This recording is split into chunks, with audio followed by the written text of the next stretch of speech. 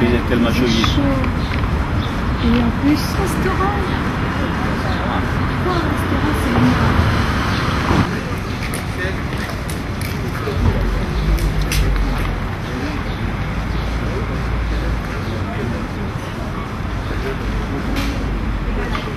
Vous voulez faire un reportage?